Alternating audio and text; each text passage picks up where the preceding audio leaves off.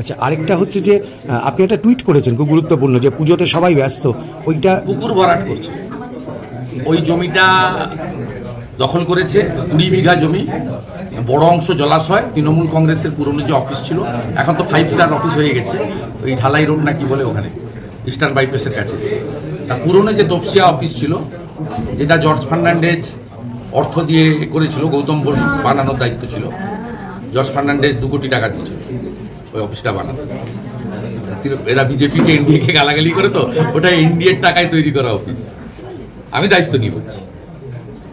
এনডিএর টাকাতে তৈরি করা অফিস ওই অফিসের পিছনে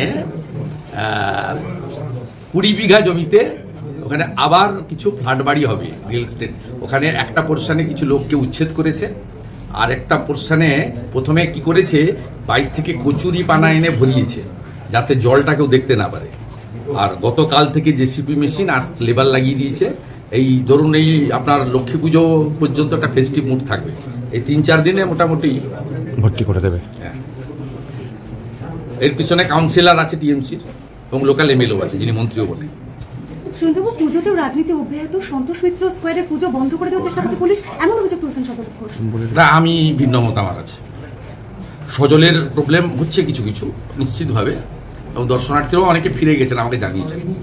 কিন্তু যে হাইপে গেছে, পুজো যে মানুষের স্রোত, আমি একটা চ্যানেল দেখছিলাম, বহুল প্রচালিত তারা কোথায় কত ওয়েট করতে হয় দিচ্ছে। তাতে সন্তোষ মিত্র স্কোয়ারকে বলছে, কাল রাতে বলছি, বাষট্টি মিনিট ওয়েট করতে হচ্ছে। যাতে কোনো ঘটনা না ঘটে, তার জন্য পুলিশ এবং পুজো কর্তৃপক্ষ দুজনেরই উচিত একটা অ্যাডজাস্ট ওয়ার্কিং অ্যাডজাস্টমেন্ট করে আজ একটা দিন কাটিয়ে দেওয়া। কারণ কোনোভাবে যেন কোনো ঘটনা না ঘটে। মানুষ দেখেছে এবং যেভাবে social media platform mainstream media electronics চ্যানেলগুলো তারা তো রাউন্ড দ্য ক্লক দেখাচ্ছে। তবুও রাম মন্দির তার সঙ্গে একটা আবেগ আছে, মানুষ অযোধ্যা যেতে পারবে না, স্পর্শ করতে চাইছে। বিশেষ করে আমাকে তো রিমোট আমার মেদিনীপুর বা অন্য জায়গায় বয়স্ক মহিলারা। কালকেই আমি নন্দীগ্রাম দুইয়ের বিদ্যুৎ কর্মাধ্যক্ষর মেসেজ পেয়েছিলাম যে আমার শাশুড়ি মা প্রায় আশির কাছাকাছি। বুঝে একটা আলাদা কিছু দেখো মানে ব্যবস্থা নেই উনি দেখতে চাইছেন রাম মন্দির। মানে বয়স্ক লোকেদের মধ্যে ইয়াংরা তো ঠিক আছে সেলফি তুলবো ছবি তুলবো এসব করব কিন্তু বয়স্কদের মধ্যে এই যে সনাতন সংস্কৃতি এবং রাম মন্দিরের রামের নামে যে আবেগ এইটা কিন্তু extraordinary hats off to Santosh Mitra square organiser এবং নিশ্চিতভাবে প্রদীপ ঘোষের আশীর্বাদ ছিল সজলটা করে দেখিয়েছে। আমাদের সকলের শুভেচ্ছা ছিল।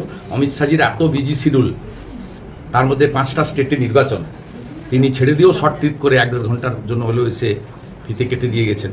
শুধু অমিত শাহজি নন কলকাতায় যারা রিনাউন্ড লোকজন আছেন সবাই সকলেই গেছেন। মানে গভর্নর চিফ জাস্টিস সবাই গেছেন মুখ্যমন্ত্রী যান মুখ্যমন্ত্রী যান এবং না না আমি শুনেছি উনি তো অসুস্থ উনি তো এবারে সবটাই পিতৃপক্ষে ভার্চুয়ালি করেছেন ওনার সুস্থতা কামনা। না বলছেন অমিত শাহ আসার প্রসঙ্গে বলছেন ওদের শিক্ষা নেই ওরা তো আহ, জানে কে বলছে ওটা? মুখ্যমন্ত্রী বলেছেন। যিনি। পিতৃপক্ষে দুর্গা ঠাকুরের পুজো উদ্বোধন করেন তিনি কাকে শিক্ষা দিচ্ছেন? তিনি দু হাজার একুশ সালে বিধানসভা ভোটের আগে আমতলার পৈলানে সরস্বতী মন্ত্র ভুল পাঠ করেছেন। তিনি দ- নন্দীগ্রামে গিয়ে চণ্ডী মন্ত্র ভুল পাঠ ভুল পাঠ করেছেন। আমরা সনাতনীরা এখানে সহ্য করি, আমাদের সহ্য শক্তি মারাত্মক। তিনি রামনবমীর যে তিন জায়গায় দাঙ্গা, গন্ডগোল হয়েছে ডিউ টু মমতা ব্যানার্জি। উনি রেড রোডে একশো দিনের টাকার দাবিতে ধর্ণা দিচ্ছিলেন, ওখান থেকে বলেছেন কালকে রামনবমী আছে, কোনো মিছিল যেন মুসলিম এলাকা দিয়ে না যায়। কোনো মুসলিম লোকেরা বলেনি, মমতা ব্যানার্জি বলেছে। তাই গন্ডগোল হয়েছে, বিশ্ব নবী দিবস ছিল। ইসলাম ধর্ম লোকেদের, মমতা ব্যানার্জির মুখটা বন্ধ ছিল বলে কোথাও গোলমাল হয়নি। বিশ্ব নবী দিবসেও ইসলাম ধর্মে যারা পালন করেন তারা দশ হাজার মিছিল বের করেছে। কোথাও গোলমাল হয়নি কারণ মমতা ব্যানার্জির মুখটা বন্ধ ছিল। আর রামনবমীতে গন্ডগোল হয়েছে কারণ মমতা ব্যানার্জির মুখটা খোলা ছিল। না মুখ্যমন্ত্রী বা, বাজিয়ে দেখছেন কতদূর জল গড়ায়। যখন একদম হাতের বাইরে চলে যাবে তখন বলবে মহুয়া এসব করেছিল আমি জানতাম না।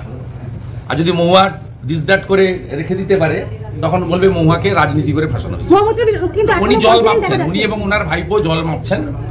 উনি পরিবেশটা দেখছেন। যেমন ভোটের সময় উনি বলেন দুশো চুরানব্বইটাতে আমি প্রার্থী। পার্থ যখন টাকা সহ ধরা পড়ে চোর অর্পিতা সহ, তখন বলে যে পার্থ দা এইসব করেছে আমি তো জানতাম না। ধন্যবাদ ধন্যবাদ।